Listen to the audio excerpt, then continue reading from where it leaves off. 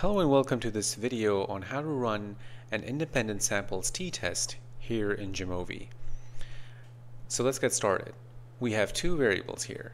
The first is group, which includes groups A and B.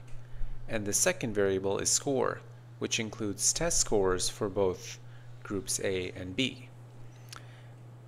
Here we can see that we've set group to be a nominal variable with the data type being text while score is a continuous variable with the data type set to integer.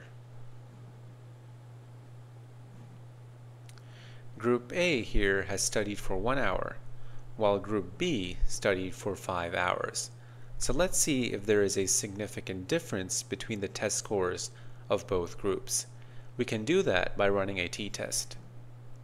Let's go over here to t-tests and then select Independent Samples t-test. Let's select the dependent variable, score, and the grouping variable, group. We can also select the mean difference, effect size, descriptives, and descriptives plots for additional information. Here are the results we can see that the mean difference here is negative 10. This indicates that the test scores of group B were higher than the test scores of group A.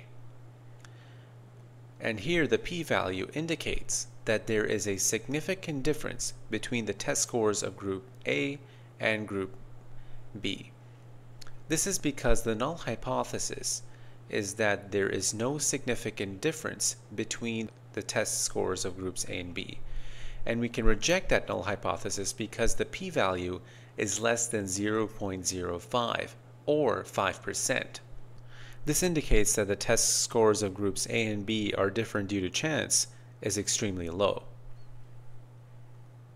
We can also see that the Cohen's d effect size of negative 3.3 is very large as any effect size above 0.8 is considered very large. This means that the difference is not only statistically significant, but also practically meaningful. And here we can see that the mean score for group A is substantially lower than the mean score for group B. And this is again indicated by the independent samples t-test.